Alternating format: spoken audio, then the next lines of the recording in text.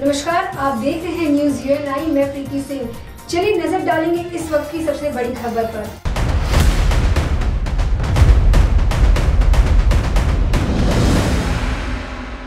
हापुड़ में एक पुजारी द्वारा बच्चियों के साथ छेड़छाड़ का मामला सामने आया है। यह मामला सामने आने के बाद वहाँ के निवासियों में रोष व्यक्त है।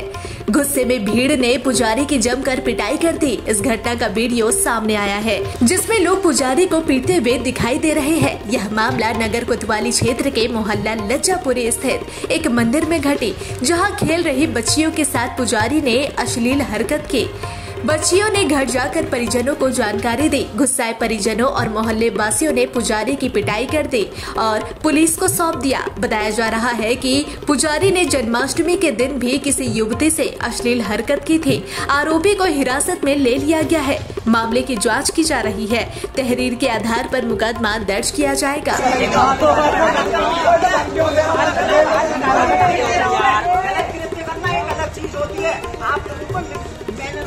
यार डर रहे हो?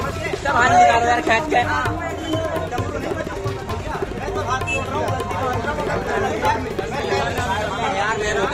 तेरा नियम है तेरा नियम है ये बदतमीजी करना।